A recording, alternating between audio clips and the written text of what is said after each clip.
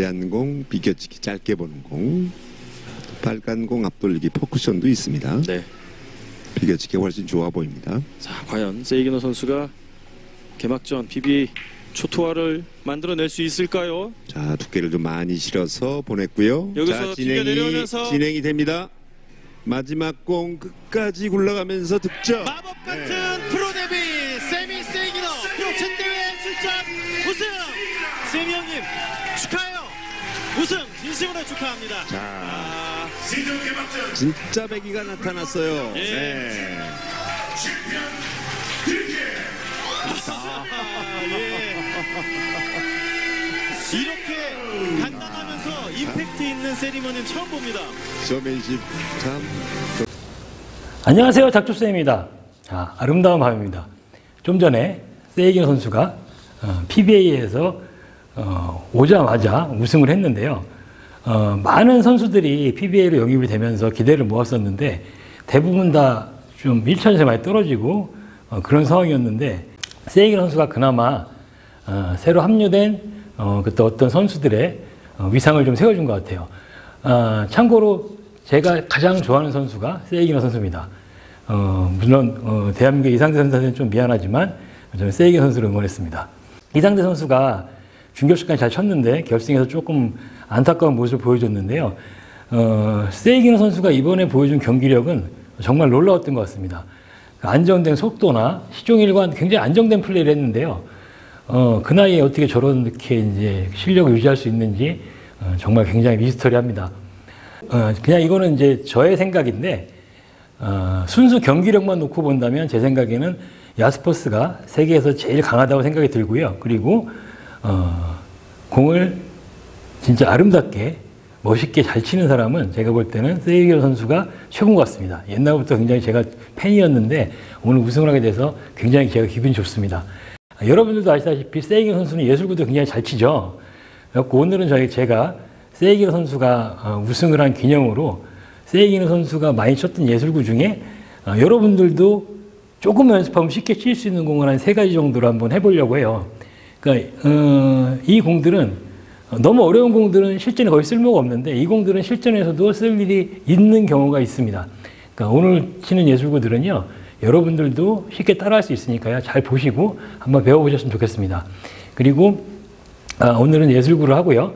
그리고 어, 다음 편에서는 저희가 이 세이겐 선수가 이번에 이제 우승하면서까지 보여줬던 공들 중에 기억에 남는 초이스들을 놓고 저희가 한번 배워보는 시간을 갖도록 하겠습니다. 그러면 세이겐 선수 예술구를 배우러 상담 카메라로 가시죠.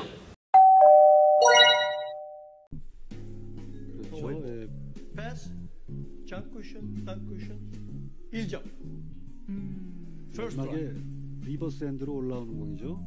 아주 쉬운 공이라고 했는데 첫 번에 실수했네요.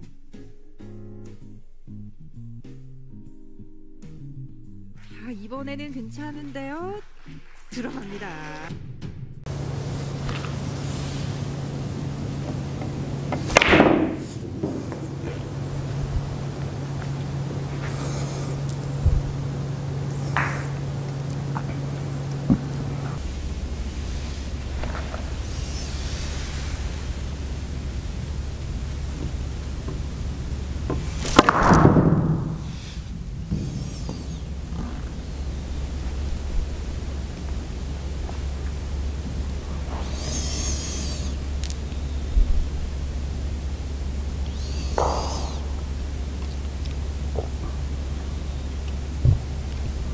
자, 방금 전과 같이 그렇게 사이에 이제 넣어서 보내는 공도 가능하고요.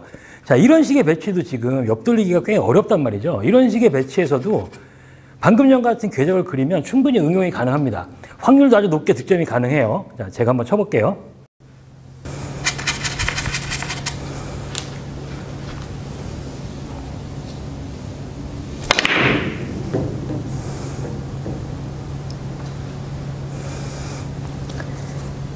자, 이런 형태로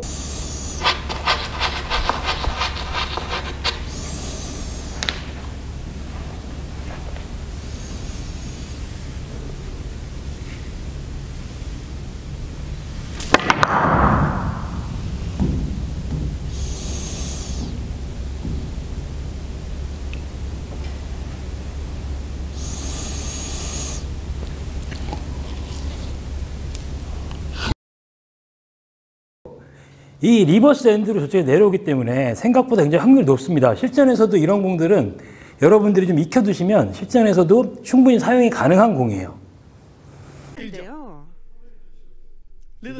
예, reverse First 들어가는. 공이죠.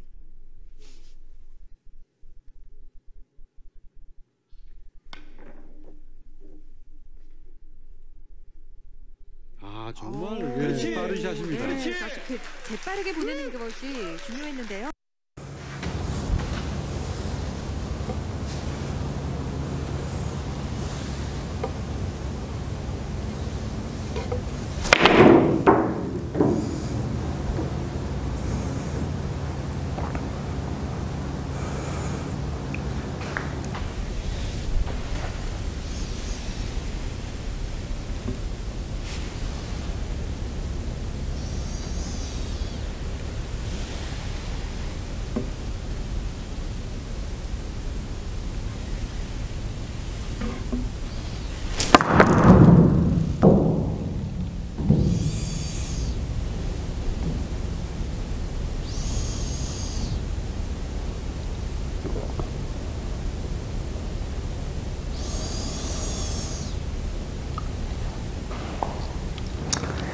자, 이 공도 어, 여러분들이 어, 충분히 실전에서도 칠 수 있는 공입니다. 이런 공은 샷 스피드가 생명인데 여러분들이 샷 스피드를 올리기 위해서 이런 공을 좀 연습해 두시면 샷 스피드를 올리는데 도움이 되실 수 있어요. 자, 이렇게 빠른 스피드를 낼 때는 여러분들이 이 그립을 너무 꽉 쥐고 있으면 안 돼요. 힘이 빠져 있어야 힘이 빠지고 그립을 약간 느슨하게 쥐고 그러고 있어야지 스피드가 올라갑니다. 내가 여기서 순간적으로 최대 스피드를 내 갖고 공을 돌리는 거예요. 힘을 많이 빼주시고 그 다음에 샷 스피드만 최대한 높여 갖고 치시면 이 공이 빠르게 코너웍을 돌면서 득점이 되는 겁니다.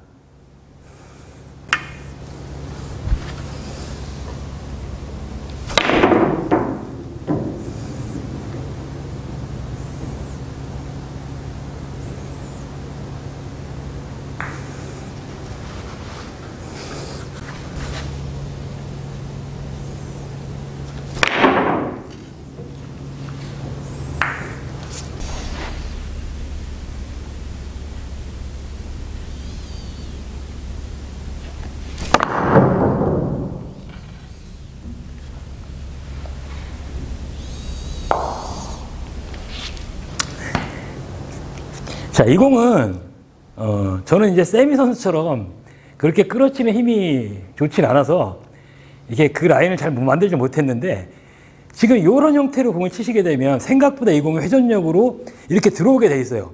이 공도 여러분들이 끌어치는 연습을 하실 때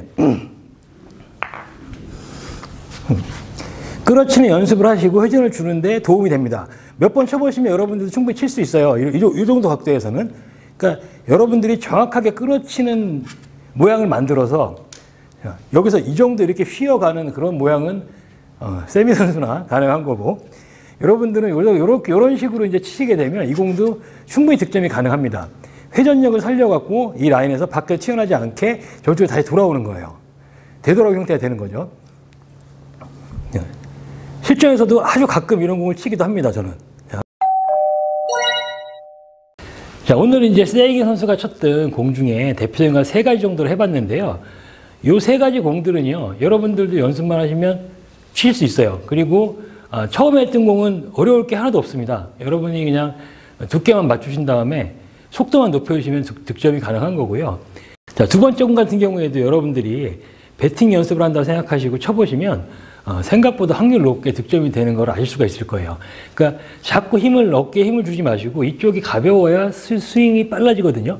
그러니까 여러분들이 손목에 좀 힘을 좀 풀으시고 어깨도 힘을 푸른 다음에 이 상태에서 빠른 스피드를 내면은 이런 공들은 생각보다 쉽게 득점이 가능하십니다. 그리고 마지막에 친공 같은 경우에는 그냥 끌어치기예요. 끌어치기만 잘 해주시면은 공이 밖으로 튀어나가지 않게 역회전만 잘 걸어놓으면은 회전력으로 인해서 쉽게 득점이 되니까요. 이것도 재밌는 공이니까 한번 해보시면 좋을 것 같습니다. 어, 다시 한번 세미 선수 우승을 축하드리고요. 어, 오늘 간단한 예수구도 해봤는데 그냥 재미삼아 여러분들도 한 번씩 쳐보시면은 어, 어쨌든 샷 스피드를 높이는 데는 도움이 될 겁니다. 구독, 좋아요, 알람 설정 꼭 부탁드리고요. 주위에 카톡 공유도 많이 많이 해주시면 감사하겠습니다. 감사합니다.